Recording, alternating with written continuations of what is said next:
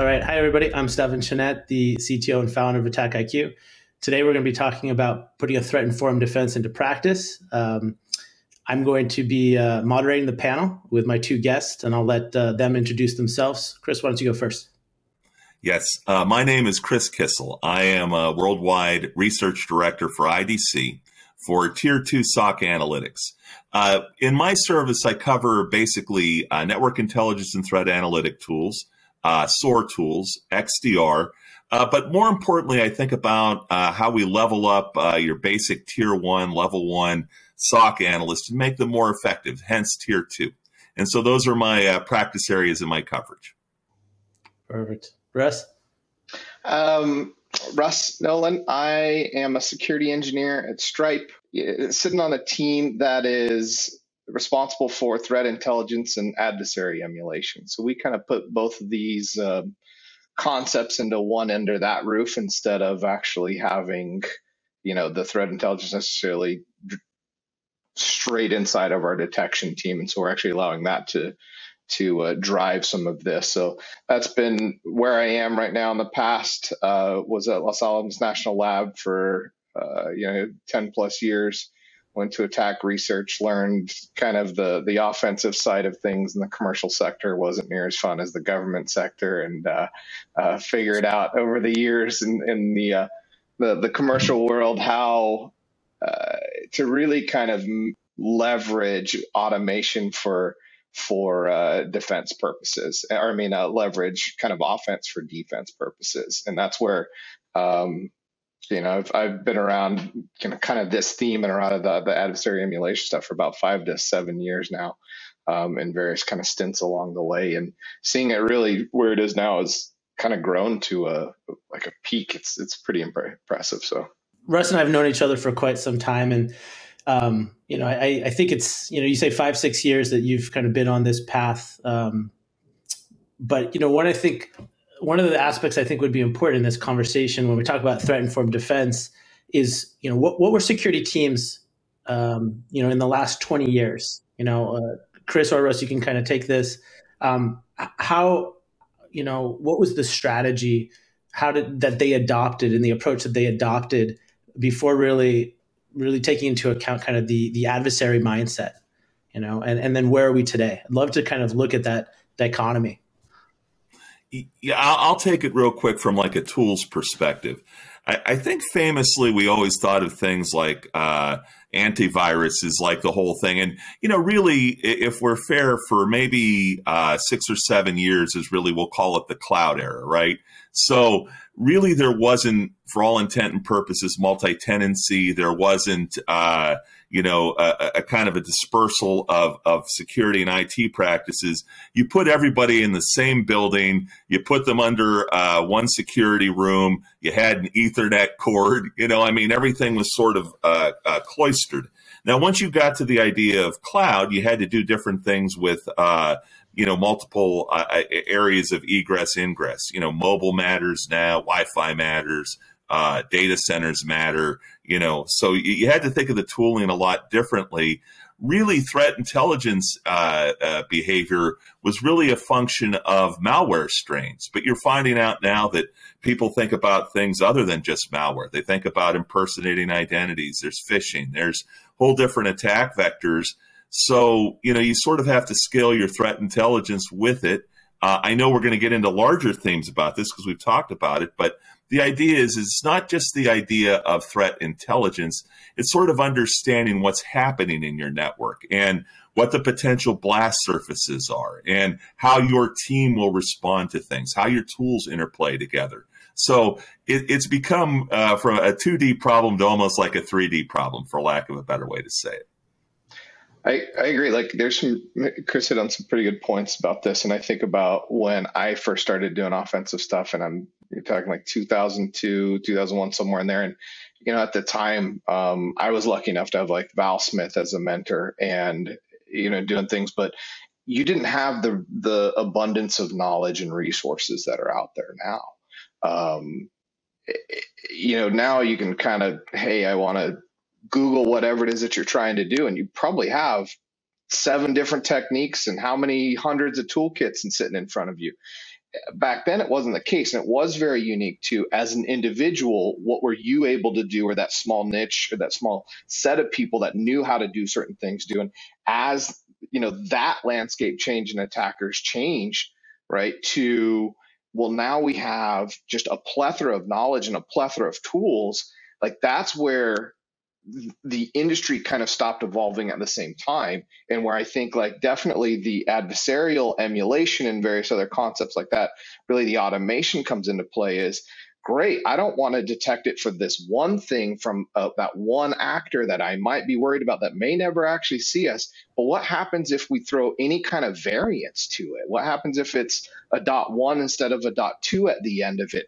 Does our you know how does how do we measure the impact of detection and prevention mechanisms. And I think that's the piece that is also like scaled or that we're needing to necessarily scale and where the, the, the threat informed and a lot of this adversary emulation concepts are really starting to actually come in um, is we've got the ability to automate a lot of this stuff because again the data resource by which attackers have at their fingertips is so much more than what it was 20 years ago mm-hmm. Mm-hmm. Well, I heard I heard a few things. Um, so you know the the security teams of yesteryear, you know, the problems that they were dealing with were were maybe more simple, and then the infrastructure started to have more complexities. Um, the adversaries, uh, the the knowledge of what the adversaries were doing was was more readily readily available and being more shared. And so, Russ, as you put it, you could kind of start to to Google um, what was what was uh, you know what were key terms when before it was kind of a smaller set of individuals that had that knowledge and as there were more complexities you know more automation was needed um, i think that's a perfect segue to kind of you know 2000 what 14 15 uh, MITRE uh, you know releases the ATT&CK framework um, and we can't you know we have before we start really diving into threat informed defense we have to talk about the ATT&CK framework um, what did that do for the industry? You know, in terms of the the, the lexicon and the the knowledge base and the framework. What what did it do for for the security teams, not just threat intelligence, but as a whole? I I personally liked it from I thought it broke down the way an attacker has to operate than the kill chain concepts or anything that was really kind of out there at the time. And and I reference uh, you know, I taught a, a black hat, started teaching black hat classes about 2011, 12, somewhere in there. And it was on offensive stuff uh, with attack research. And we, you know, the way we structured our class was recon, post exploitation, lateral movement, persist. I mean, like the slide, the sections of the titles were actually like you spent half a day on persistence and lateral movement. And so it mapped to me as a, especially as then somebody had had a bunch of hands on keyboard from a bad guy perspective. You you have to think through those ways. Like, how am I going to get to credentials? What is the access? How can I, you know, to, to go lateral? I need to have access. Well, what credentials then do I need? And so it broke it down in a in a more um, I would say kind of attacker based thought process than any of the other ones.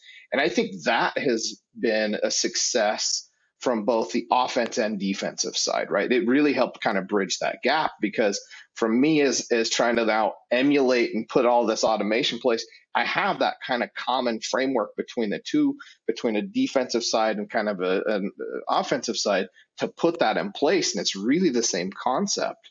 Um, even at Stripe, we've expanded it internally to have like, we've got a malware directory. We've got, you know, like, like those kind of concepts that it was really easy, but it was just simply like, how does a bad guy kind of have to go through an operation and what does that look like? And then now we've got the framework for it. That's all that makes sense to me. And it has a couple of additional simple benefits, right? So, for instance, I can honestly tell you that uh, in the last two years, if I think about all of the vendors, I mean, I'm thinking about I'm thinking about Splunk, I'm thinking about uh, CrowdStrike almost all of them express uh, threat detection and workflow in a MITRE ATT&CK dashboard. Okay, so that's one thing that really helped. And then a second thing is is it it it really does sort of help security practitioners achieve ubiquity. So if somebody really is familiar with the MITRE ATT&CK framework and they work for uh, Ernst Young, there's no reason they can't work for AT&T, you know, because they're really kind of thinking about how an adversary works. It gave a real structure to something that, you know, uh, as you exactly said, a lexicon to something where people wanted to have their own proprietary ideas about how attackers work this was like a logical step and you can map it and you know and, and, if there's a new adversarial technique you can actually map it to the framework and it's extensible that way. So all the little things i mean uh, russ articulated beautifully about how there's an offense and a defense uh, uh, paradigm with this. I'm just saying on a basic framework it got everybody on the same page and it and that and that sort of matters too. Yeah. But we you know we had frameworks before why why, well, sure. why MITRE? I mean, in terms of you know at least describing some form of adversary behavior. Why do why do we think that that MITRE ATT&CK had had the uh, the response it did in the industry? You know, because it, it unlike any other framework, I mean, it exploded. You know, uh, for for a lack of better way to, to put it. You know, I think like somewhat of an answer on that one is also twofold of are we doing too much now with it? Are we trying to shove too much into it and let a good thing just be? And that's something because if you read some of these MITRE things, you're like, what? I, I guess, sure. I mean, like, huh? Nobody's, uh, nobody's doing that. like, come on. I mean, it doesn't necessarily mean it's bad to do it, but like if you're expecting to have 100% coverage on that MITRE board, well, Russ, maybe and then on top of that, so then there's some, there's a lot of pros as far as what what it's done. Yeah, adoption, as Chris put it, in terms of a lot of the the endpoint network vendors adopting the lexicon and its ubiquity amongst how we kind of, kind of discuss techniques. But what what's been some of the cons? What what's I think I think we've tried to put too much in some cases uh, into it. Um, if you look at, I mean, Chris actually alluded to this one. You've got, you know, the, the cloud concepts. Does it fit right. cloud? Does it fit?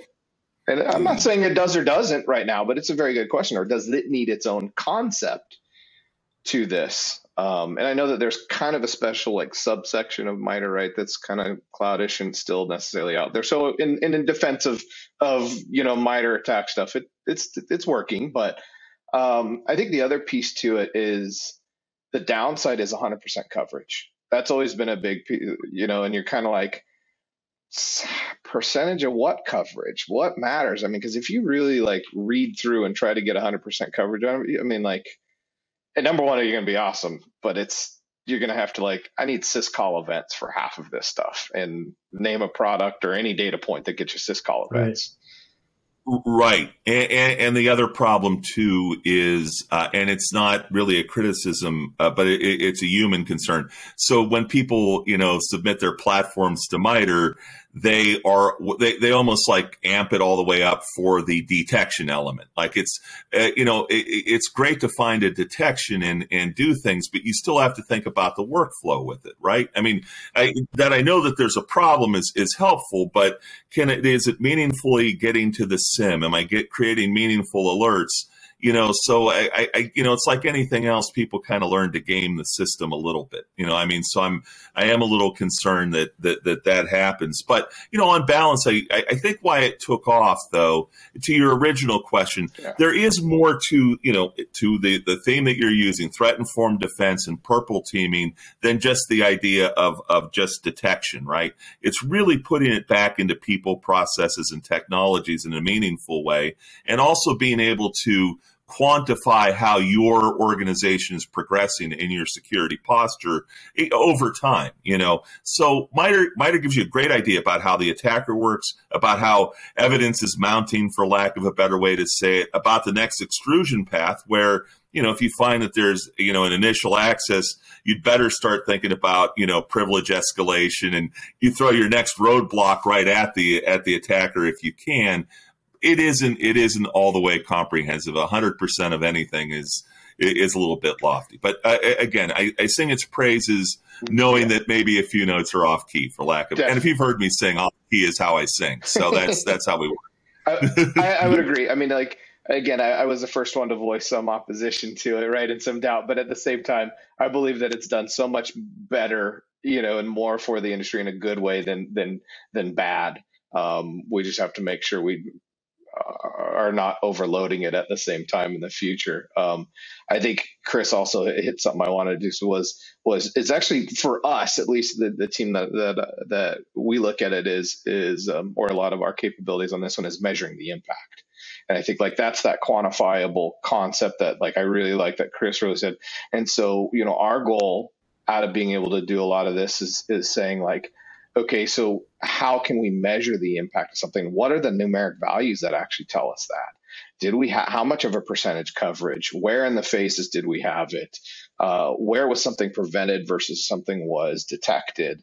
And and kind of we even uh, like I said start to attribute some of that along the MITRE ATT&CK phases, right? So you've got your you know the the the credential versus uh, persistence or you know like where inside of this whole thing did we actually catch something but at the same time, it's it's really to actually understand again what's the measurement of impact, right? Uh, did we is it zero or is it hundred or is it seventy five? Is it twenty? Is it like and and that kind of also helps to then enable us to say we're really weak in credential access or we're really weak in reconnaissance things and you know those kind of things that that it's just it's been really nice to be able to kind of structure a lot of things that aren't even inside of MITRE but to MITRE. Yeah. Well, then then where does and maybe Russ, this is a question for you. Where is the the line where you know one of I think one of the criticisms that that we're discussing with with MITRE is that there's a perception that you have to have 100% coverage. That you look at um, you know the framework and treat each TTP as well. Not only do I have coverage for that, but every single iteration of how it might an attacker might implement that particular behavior and drill down. And you know the term attack you know attack bingo has been been used quite a bit where it's it's it's in a negative form um, where you you get you know so enthralled and, and too obsessed with coverage of every TTP, and you don't step back and talk the way that you're talking about it. Going, how are we going to approach this from a strategic perspective? You know, so where does that line? where does that line? Uh, you know, blend. I think part of that is also dependent upon the organization, right? There's going to be some yes. there's going to be some areas where it's really important to have it. we all want to catch it as early as possible. Let's be honest with ourselves. Like that is everybody's number one goal is how early can we move this whole thing and, and prevention detection. But at the same time, I mean, with the numbers and everything else we've got nowadays, uh, it's going to happen. And so where can you detect it and, and how long and what's that criticality to you and your organization? Uh, if you store nothing on your desktop and you catch it at persistence on your desktop, do we care as much? How much of a big deal is that versus if you store everything on there and you catch it at persistence, then maybe that's a little bit bigger of a deal. And so you've got to kind of understand where to your organization in enterprise, like what's the important piece to focus on side of that, and then understand we've used it for measuring are we off? Do we have good distribution of detections and protections across like maybe multiple angles that I've seen in the past. So, um, are we getting too far in saying we've got a whole bunch of detections that are so focused around um, lateral movement, but we've got nothing on initial access?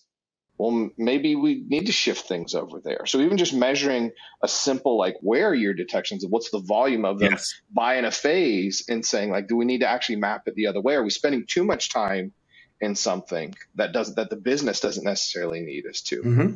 Yep. No, that, I, I, didn't give you a concrete answer because I just I don't think there no, I, in many cases, there's never just one right answer to anything, right? But you know, again, perfect perfect segue to start talking about a threat informed defense because the very way you're talking about approaching security is the approach strategically for an organization when they, they're they're thinking about how do we shift to you know, um, adopting a threat informed defense. So that being said, maybe the best way I'd like to start that conversation is, you know, when you look at a security team in an organization, what does it what does it take to adopt a threat informed defense? You know, if you're a security team and you've got one person, two two individuals, no matter how how large an organization you are, can you adopt a threat informed defense? Uh, what does it actually take to start uh, adopting the the strategies, the viewpoints, the rest, everything in the way that you were just talking. I mean, that mentality is key uh, to taking on that those characteristics. But how does that start to happen? Chris may be a better person to answer that question. Me with in his role. Why don't you go first? I no, I, and I think uh, I, I, think there's a couple of simple things that you, you sort of have to do first.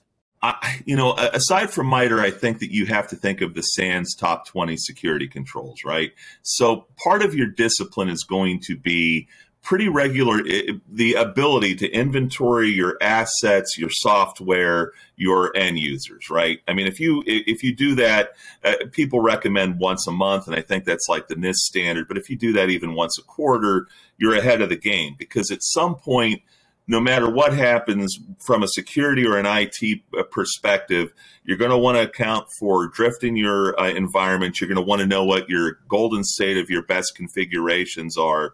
And when you do that, what it allows you to do is if there is a, a condition where you know you think you're under attack or you're really especially vulnerable you have a real idea of what you know what assets the you know what the chain of custody that a, an attacker would have. So you can throw roadblocks in front of it theoretically. Um, and more than anything else you start controlling your blast surface. So i would argue that you know anything that has to do with detect, de detection actually has a prevention measure in front of it. Mm -hmm. Are my S3 buckets secure? Uh, you know, do I have visibility over my EC2 instances? Are, you know, uh, do I feel like my identity and access management allows me to do multi-factor authentication for, for quick remediation? Um, all, all of these seem like simple block and tackling, but I'll tell you, you know, block and tackling is hard to do. I think that the the problem with the world is we have so many static controls over a fluid environment. You know, somebody gets a new OS and you don't know that it got all the way up to the to every computer. That means some of your computers are not visible. They're unmanaged. They're vulnerable. Um, so you, you really kind of have to have a, a sobriety on a high level, you know, thinking about things like continuous monitoring, ability to inventory things, understanding, uh, you know, how your computers are linked so that you can, uh, you know, uh, stop the blast surface and then train your employees to look for obvious things like phishing attacks and tell them to work within the network. Now, maybe Chris Kissel doesn't always work within the network. I mean, I get a little scared because every now and then you're at a productivity gap and you go, oh, my VPN's slow you have to have intelligent discussions about all this. I don't know that I answered your question precisely, but I think I think it's partly a mindset. You know, I mean, it really is you know an idea that we have a discipline to understand our IT and, and network environment. I now, Russ, I defer to you on a on a more micro level. I think one of the ways I've always seen it was even with like a kind of party of one, right? Is well, how do you prioritize? How do you know? Yes. And I think like that lets you start to actually make that decision. Do you need to add some prevention mechanism because something's happening? And so from a threat informed kind of concept, let's even remove the the threat intelligence piece to this and just say, hey, attack technique, whatever, doesn't really matter. And let's kind of put that in the mix and more the preventative mechanisms that Chris alluded to. Um, how do you know that it's actually working? How do we know when it stops working?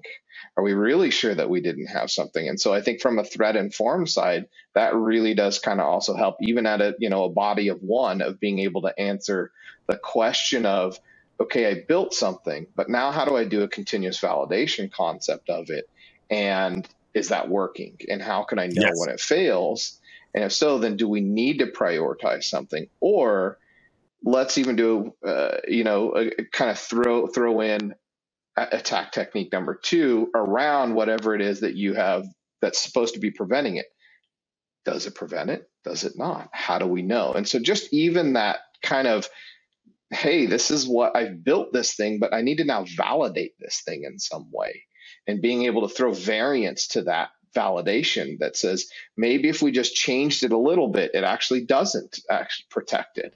And so uh, being able to know that, I think from a threat informed side is even more valuable. Yeah. There's so there's two elements I'd love to dive into with, with regards to what, what you're both saying. You know, one is the technical aspect of mechanisms involved in a threat informed defense, and the other is just sharing and collaboration. Because, you know, let's let's take where you're a security team of one actually it might be the easiest. You know, you have automation in play, hopefully, but but uh, but communication is pretty easy. You got to you know share with yourself uh, in your team, but but it's not you know several other teams in silos maybe um, across international borders. So you know part of it is the communication aspect. How, how have you both seen success with regards to security teams that want to adopt a threat informed defense and need to start involving other teams that maybe before they didn't communicate with or their CISO, their CIO, the other kind of management structures to, to help them understand the benefit of adopting kind of this strategy.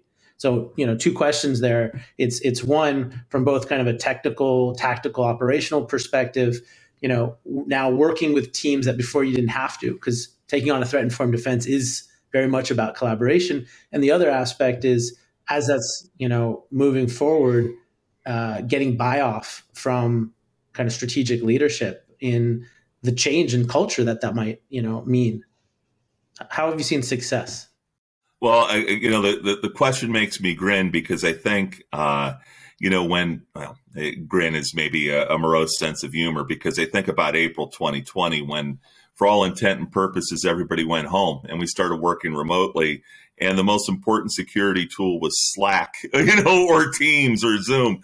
And it, it had nothing to do, it, it, just had something to do with basic communications and putting things together. I, you know, you, you sort of can't, you can't piecemeal an environment. You sort of have to look at it all in once, right? It's not like you, you know, even when we think about the MITRE ATT&CK framework and everything else, you, you have to do things sort of in a in a very important contextual way. Like you, you have to understand that your your configurations are on time. You have to understand how a specific breach goes. So I, I think that you have to do that through some sort of platform. Uh, and I know that you know we'll end up talking about this a little bit, but you know the idea of doing pen testing all the time that sounds fantastic. Except pen tests tend to be very narrow and they tend to be you know, they, they seem to be specific, but they cover a very small piece of area.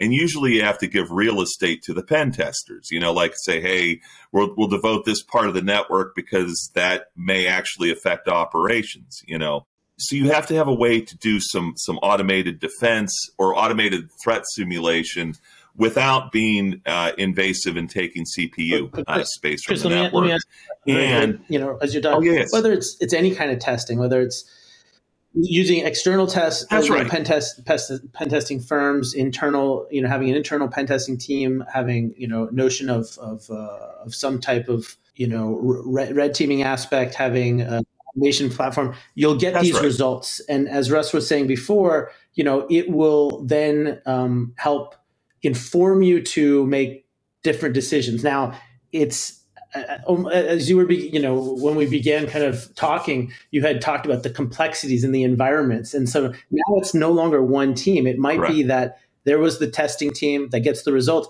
They have to go now talk to a policy team that's in charge of the endpoints overseas. I, am kind of curious as to how that's not worked in some cases and worked, and what teams have to go through because pen testing i think suffers from the same and the results and the reports suffer from the same aspects of any type of testing in this regard, when we're talking about threat inform, it's just con- more continuous, and it's I mean we're trying to you know bring in automation, and it's uh, it's it's no longer the days of pen testing firm comes in either from an external perspective or internal and hands you a report. Right. There's there's now a lot lot faster kind of iterative approach to this.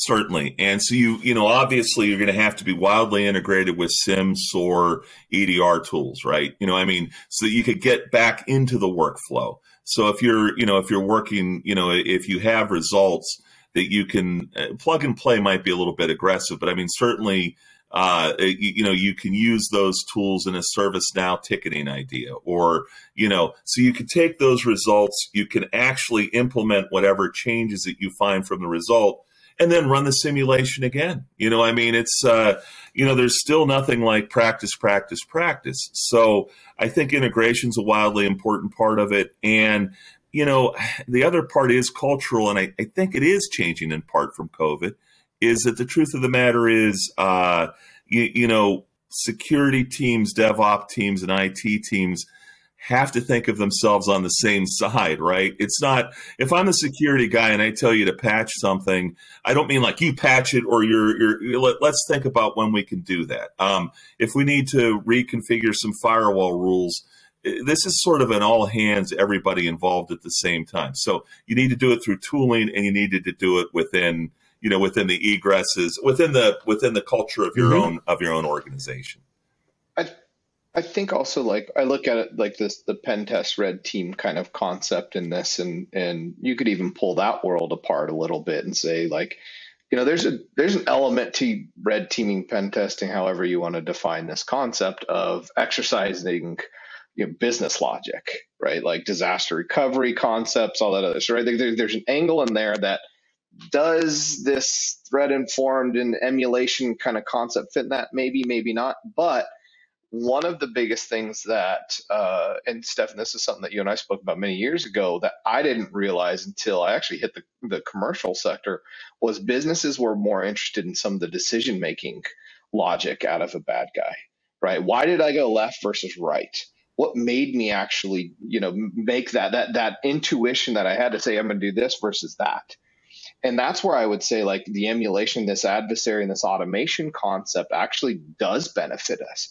Is because if I can go develop 40 different credential harvesting techniques and then deploy an agent to how many places we need to actually run this, run it and collect the data, I've done that in 10 minutes and I can now give you that data. I can give you the logic out of what I would do next. And maybe your next step is just as automated as the, the credential. But now I've taken it from doing one thing and I have to do it manually and all this other stuff to I just did it in 40 in less than 30 seconds or whatever, you know, the, the time slot is. And you just kind of enabled this concept of like, can I find the bad things that much quicker from a red team perspective? And that puts us back on, like what Chris said, the same side as the individuals that are actually having to say, like, does it work or does it not? And so maybe, you know, breaking that down, and that's the piece that I think – has not really been embraced at scale and concept. And all we're talking about here is just automation, right? Like in the end, that's just automation, but it's frameworks to enable this code bases you know what are agents various other kind of concepts that allow us to be able to do this but it really takes apart your classic thought process of pen testing red team and you know really dismantles it and says like maybe we only need it for business this and maybe it's for finding bugs and bad things across our configuration everything else. Maybe we can do that in a more efficient manner. Maybe we can do that in a, in a more automated mm-hmm. approach. Every shop's going to have to answer man is that smart. I, no, well, I just wanted to comment on how smart when you said it, like something went off in my head. If I actually look at the data, it will suggest to me where the adversary may go. If they feel that there's a, a specific weakness in, uh, well, password's an easy one, but if they find, you know, see a specific weakness in a uh, IDS IPS, uh, if they see a specific weakness in EDR, that you know once you get the data that kind of helps you figure out how to firm it up whether the attack is coming left or right where a potential zero day is we you know a, a novel attack could come from I uh, I kind of appreciate the idea. I you know so I you know I, am just that makes me say you know more nice things about AttackIQ. I as I just a little nuance that I hadn't really thought about you know earlier. Very cool, Russ. It, has been something that changed my mind of just like, well, can I automate me? How much how much faster can I make yeah. decisions to tell a business or the business employees me of like, I need to do this versus that, or I would have done this, or like turns out you're got credentials everywhere over here. That turns out 30 things work against your 40, and man, I got 30 different ways to get credentials, and then if I feed those into like another 30 different lateral movement techniques, does it work? If so, did yeah. I just speed the game up? Did I just speed the? How do I answer the questions to my own problems that much faster? Yeah, to derail the conversation just briefly, if they automate me, there's going to be a whole lot less beer and nachos in this world. So, I mean, but that, that's that's what I contribute to it. You know, um, you know when when when uh, when the results come though from this this kind of adopting of a threat informed defense, and you know, Russ, if if if you're both you know the one that's kind of running running the, the the security testing program and the one who's the recipient it's easy. But if you're now communicating to different teams of the business I'm curious how you've you've had success. Because ultimately uh, you kind of said the business wants to know more, and they've actually started to take notice uh, about adversary craft and and and behavior and controls and there's a lot of investment being made obviously and has been for some time on detection prevention response controls. Um, they want to know that things are working um, and want to be proactive and i think that's more and more the case. How how are different stakeholders how have you seen success in communicating to different stakeholders? Numbers I think like that's kind of big. That is, you know, it kind of removes mysticism. It helps to just understand it and say like, hey, we saw good success, we didn't see good success, whatever. Your the numbers are just kind of out there, and then being open with how you generate those numbers. Um, so, uh, percentage of success, denial, whatever it may be, and especially from an, like this angle and add, you know, being able to automate uh, or leverage the automation to actually compute those and verify that is really good. Like, do we have detection efficacy in certain things? Do we have uh, configuration efficacy over here? What happens if it, you know, right? Like that kind of helps to remove this. I ran 30 techniques, 40 techniques, and only one worked. Right, they went way or versus the other, but again, numbers are numbers. It worked or it didn't work, and so I think helping with a metrics kind of conversation is usually really good. That helps to like maybe just remove some of the people bias concepts that show up in this, especially uh, especially when you throw the red teaming kind of piece into it, and you can maybe remove that because that becomes very adversarial in some organizations, right? Is is you know is a number kind of element, being honest about those numbers, being able to be transparent about those numbers, and say like the machine does it. You can test it all you right. want. Here it is. You know, here's the data points does that help you're, with actually you're breaking saying, down? You know, like this, hashtag math is objective, of, right? It's like it, let's. you know. I never, I never in my career thought I'd ever say it metrics, right? Like I never once in my life ever thought I would say that. But I, will be honest with you, I think like that really does kind of help in being able to, you know, uh, let others understand and see that impact. Yeah, and I'll I'll add some superfluous things because Russ's point is is more important than what I'm going to say. But there's still very human things that happen. So everybody, it literally, we know that about this time last year was the Colonial Pipeline breach. These are things that anybody who watched the news knows. We know that they, you know, we, we well, we suspect that they paid about five million dollars in ransomware. We suspect that half of that was covered. You know, all these are lightly, you know, uh, thinly veiled reports so all of a sudden, you know, the the effect this time around was that you know it took about a week to get gas in the you know southwest southeast United States, and uh, you know cybersecurity now raises to the level of line of business. It raises to the level of you know mergers and acquisitions. It's now a C level. It's always been a C level problem, but it gets to very very visible you know embarrassment points. And so on a human level, if you if well and you know uh, Stephan, you would know this better than most. There's going to be mistakes in an organization. What you hope to say is, did we do everything that we could in a reasonable and intellectual context. And if we did, you're you know you're less you're, you're less likely to get angry with an employee or a system or a process. And you know you, you have to maximize in cybersecurity. You have to maximize that opportunity. And maybe a year or two from now, we know, we, we the things we can't control is what you know what role cyber insurance will play, what role regulators are going to play. So the degree to which you can say these are the things that I did to augment my controls. These are the things that I did to, you know, really test my environment.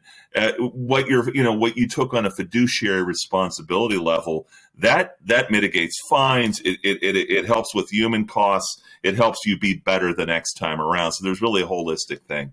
I mean, more than just a, what, what Russ said more intelligently, but the, these these secondary and tertiary considerations in a world that's more and more digital daily, those matter. You know, we, we talk a lot at, at AttackIQ about this this this notion of uh, data driven decision making, um, and you know, from what both of you are saying um, throughout the, this this last you know 30, 40 minutes, a threat informed defense is is is essentially you know a strategy and an approach that is uh, going to help create the metrics, create the numbers to drive decisions less about just pure opinions um, and to, to kind of look at look at the numbers, whether that's uh, coverage um, uh, of a particular set of controls against adversary behavior, um, gaps in Russ, as you had put it, certain tactic areas, uh, maybe an over over investment in in other areas that um, you know the, the team wasn't aware of until they actually get together and start talking and thinking in the way of discussing well what's our threat? What's the adversary? What controls have we put in place? So there's a lot of teams out there. I mean we we run into it all the time who who don't think this way um, and and don't think the way that we've been having this conversation. You know as as they're watching as they're watching you know this conversation and getting kind of excited about what it could mean if they brought information back to their team, to their manager, to their CISO, um, or if this, you know, if the CISO is watching right now, and, and trying to trying to understand what do they need to do to change. How do you go from kind of where we started the conversation of talking about legacy security teams, which many many teams are still, you know, acting very differently than a threat informed defense, and start evolving? Where do you begin? What's what's the first place? I mean, it's not overnight. So what's the first step and and and the second step after that? I'll, I'll answer real quickly. I think Russ will have a better answer as a practitioner, but I I will say that you have to start trusting some of your automations. I mean, not just necessarily security ones, but you know the degree to which you know, I, especially for smaller organizations, quitting time on a small organization might be 505 on a Friday. We think that there's something wrong on the network before people could get onto the network, multi-factor authenticate in. Just go ahead and don't have somebody approve that MFA. There's some small things that you can do and learn to the degree to which you can trust automation. Um, and as you get more and more comfortable, increase your automation footprint. And then, um, you know, really try try to build a culture where things are not necessarily adversarial. It doesn't, you know, I, I, you know, I admit it. Like when I ask for promotions, I go by, hey, here's what revenues we bring in, here's the things I solve. But in truth, um, you know, you really have to think about where did the team go? Where did this thing, you know, um, if you know if a patch things like firewall patch management things that are ITOT shared make sure that the goal is to get a better overall result rather than IT versus OT versus DevOps. I think it's still mindset, you know, and I think that, you know, the, the degree to which you, you can, you, you, could put purple teaming together is sort of a mindset that there is a, always a, you know, an outside looking in and, you know, and a protection element in everything that you do. That was my that was my two cents. Uh, let's talk to the adult Russ. Like I mean, I think he's got room, probably a better idea with this. I'm trying to think yeah. Put that on you, bro. It's not frequent. Um, you can ask my children. um, you know, there's there's several ways about that, and I, I think about it like at uh, almost like at a tactical level, at a business level, and I think really almost every one of them comes down to personality right and the human element out of it and and chris alluded to this and the, that adversarial kind of piece uh, that some you know offensive-ish concepts really bring in. But even then, it's a trust relationship, right? Does that person trust you? Do you have a good relationship with them? So I think there's a, a human level that can't be ignored inside of this.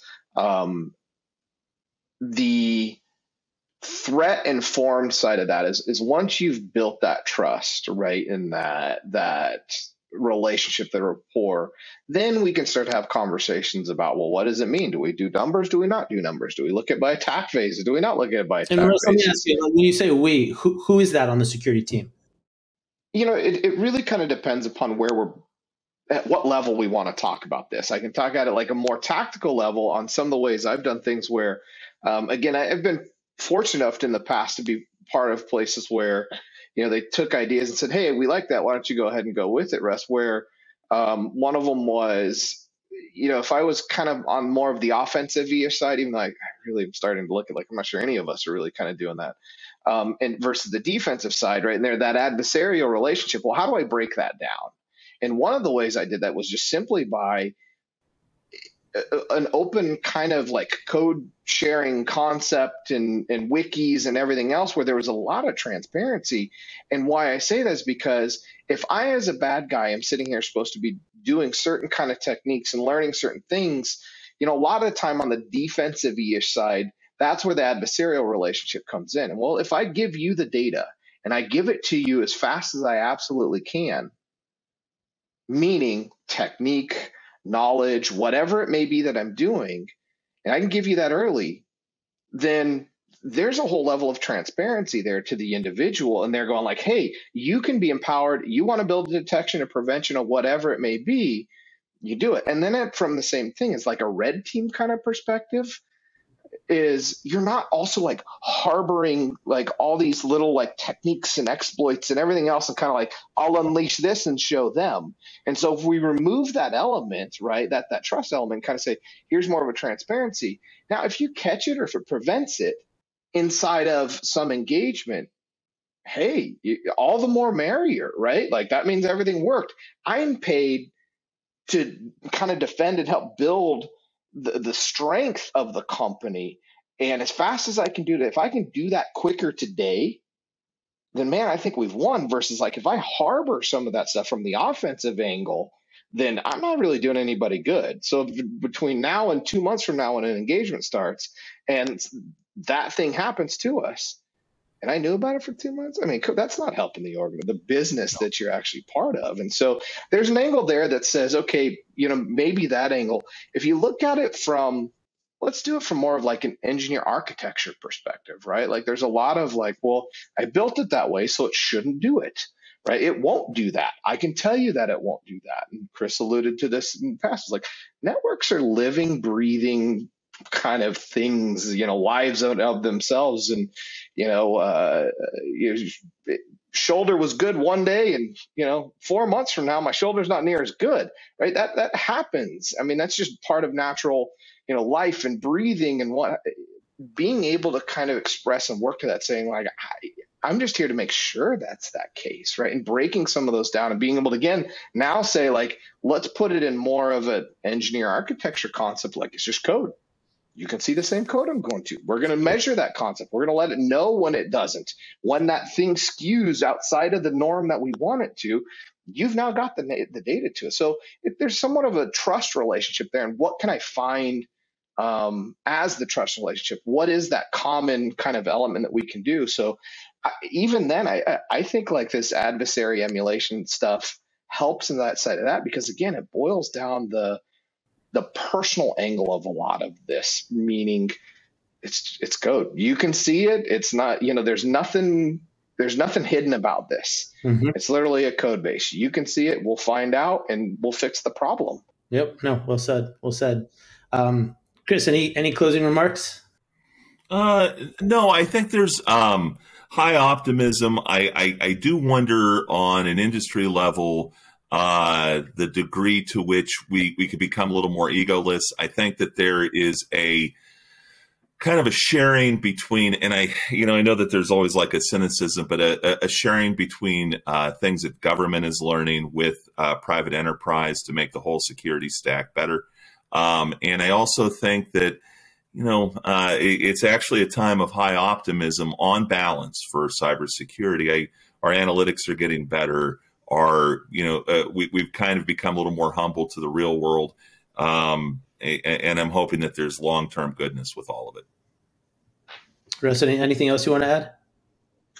Um, you know it takes a different mindset right? There's a shift of mindset with a lot of this stuff and being open to that i think is the important part. And you know we've seen the industry for sure over this the term even purple right, uh, uh, be adopted more over the past you know, four, five, six years, somewhere in there. And um, even then, that's still a loose determination. We can't even define what red team means versus pen test still. I mean, come on, 20 years later. So I think like that loose and being open minded a little bit and being also willing to kind of challenge the thought process of like, why would we do it the same way? I mean, what if we what if we made that much better in 20 years plus? Right? By some of the same things over and over again. Do we need to change them? So, question it's not to say that they're bad. It's just do they need to be tweaked a bit? Do we need to actually take strengths of cloud computing and multi-tenancy and all these other kind of concepts in it and and uh, technology and look at them just a tiny bit differently to look to measure what it is that security is actually doing for us and what is a threat piece inside of all of that look like so i think like that would be my biggest encouragement because from that if you've got that then i think you know a lot of the tooling nowadays is at your fingertip. There's a lot of open source stuff out there. You have MITRE stuff, you've got the Calderas, you've got how many other like there's a lot of other tooling that isn't necessarily even like um you know product based or I mean yeah that, that's that's product based. That help you get started for sure. Yeah, yeah, and so I think like being able to do that and and approach that from the beginning that like with that and all these tools and again use a AWS Lambda to measure it. Who cares? I mean, yeah. being able to, like you said, you've got a plethora of tools and, and, techniques and everything else to kind of look at doing this. And I would encourage, like, like I said, just look at the problem set a tiny bit differently. Yeah. Yeah. Well, thanks to you both for your viewpoints. Um, I had fun. I hope you did too. Um, for those of you watching and listening, um, I hope this encourages you to, uh, to kind of get excited and and and start adopting a, a threat informed defense into practice and as as both Chris and, and Russ alluded to, this this will involve a, a shift in mindset of the security team. Um, but that's exciting. So thanks everybody. Thanks. Thank you, Stephan. Nice nice working with you, Russ. You too, Chris.